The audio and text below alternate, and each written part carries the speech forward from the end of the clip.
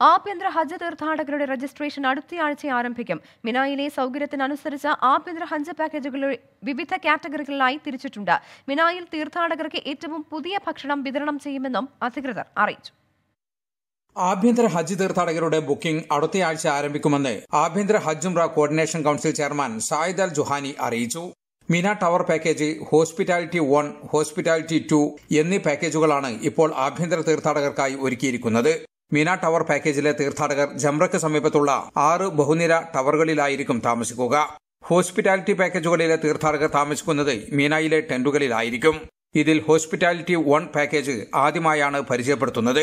Hotel മുറികൾക്ക് സമാനമായ സൗകര്യമായിരിക്കും ഈ പാക്കേജിൽ ടെന്റുകളിൽ ലഭ്യമാകുക. ഇതിനു പുറമെ മീനായ്ക്ക് പുറത്ത് കെട്ടിടങ്ങളിൽ താമസിക്കുന്ന ഹോസ്പിറ്റാലിറ്റി പ്ലസ് എന്ന പാക്കേജും പരിഗണനയിലുണ്ട്. മുമ്പത്തെ പോലെ തന്നെ മീനായിൽ എല്ലാ തീർത്ഥാടകർക്കും ഫ്രഷ് ഭക്ഷണം വിതരണം ചെയ്യുമെന്നും അൽ ജുഹാനി അറിയിച്ചു. ജലീൽ കണമകലം ട്വന്റി ഫോർ